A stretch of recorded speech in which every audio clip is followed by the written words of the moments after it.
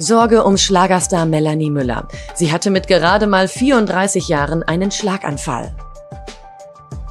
Wie sie gegenüber Bild berichtet, sei es im Juli zu dem gesundheitlichen Vorfall gekommen. Doch die Ex-Bachelor-Kandidatin entließ sich nach einem Tag in der Klinik selbst. Sie habe ein Fiepen im Ohr gehabt und eine ihrer Gesichtshälften sei gelähmt gewesen.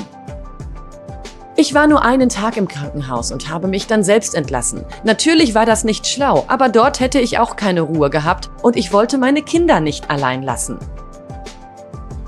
Auslöser könnten privater und beruflicher Stress gewesen sein. So kam es zu dem Hirnschlag mitten in der Ballermann-Saison. Außerdem macht Melanie gerade die Trennung von ihrem Mann Mike durch. Doch trotz des Schlaganfalls blieb Melanie Müller in den Medien und auf Mallorca präsent. Keiner ahnte, wie es ihr geht. Ich habe es nicht öffentlich gemacht, weil ich keinen Shitstorm wollte. Denn ich bin nach einer Woche wieder aufgestanden und habe gesagt, ich mache keine Kur, sondern meinen Job.